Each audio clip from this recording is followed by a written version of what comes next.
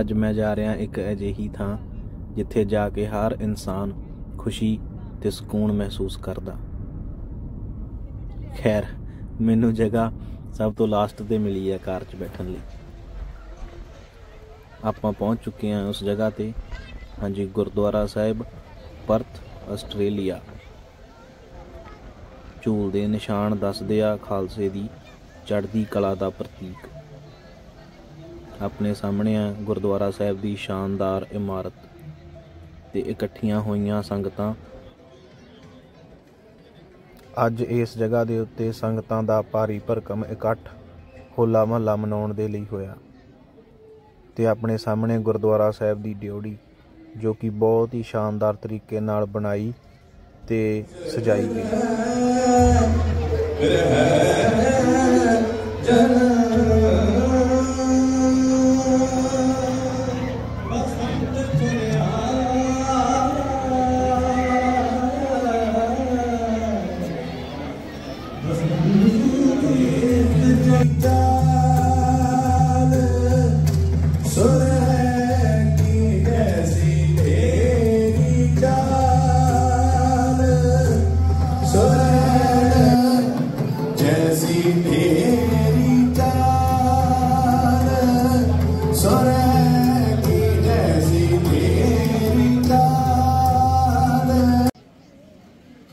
ਉਸ ਤੋਂ ਬਾਅਦ ਮੈਂ ਲੰਗਰ ਹਾਲ ਵਿੱਚ ਬੈਠ ਕੇ ਪ੍ਰਸ਼ਾਦਾ ਛਕਿਆ। ਤੇ ਬਾਹਰ ਇੱਧਰ ਪਾਣੀ ਦੀ, ਮਿੱਠੇ ਪਾਣੀ ਦੀ ਛਬੀਲ ਤੇ ਨਾਲ ਠੰਡੀ ਸ਼ਰਦਈ ਦਾ ਲੰਗਰ ਚੱਲ ਰਿਹਾ ਸੀ। ਝੂਲ ਦੇ ਨਿਸ਼ਾਨ ਪੰਥ ਮਹਾਰਾਜ ਕੇ।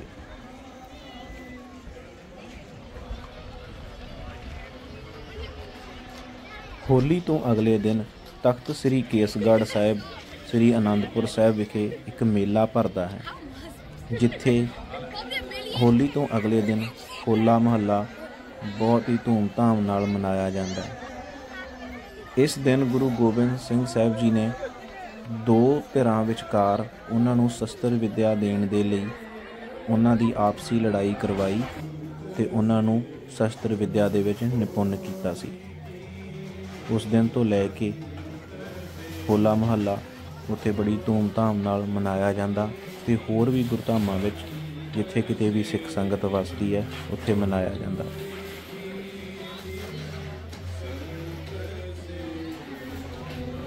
ਦੇਸੀ ਘਿਓ ਦੀਆਂ ਜਲੇਬੀਆਂ ਤੇ ਬ੍ਰੈਡਾਂ, ਪਕੌੜਿਆਂ ਦੇ ਲੰਗਰ ਦੇ ਨਾਲ ਚਾਹ ਦਾ ਲੰਗਰ ਛਕ ਕੇ ਸੰਗਤਾਂ ਪੂਰੀਆਂ ਜੁੜੀਆਂ ਹੋਈਆਂ ਤੇ ਬਹੁਤ ਸੋਹਣਾ ਮਾਹੌਲ ਆ, ਹੋਲੇ ਮਹੱਲੇ ਦਾ। ਤੇ ਤੁਹਾਨੂੰ ਸਾਰਾ ਦਿਖਾਇਆ ਹੀ ਆ ਇੱਥੋਂ ਦਾ ਵੀ ਕਿੱਦਾਂ ਕਿੱਦਾਂ ਦਾ ਲੱਗਦਾ ਪਿਆ।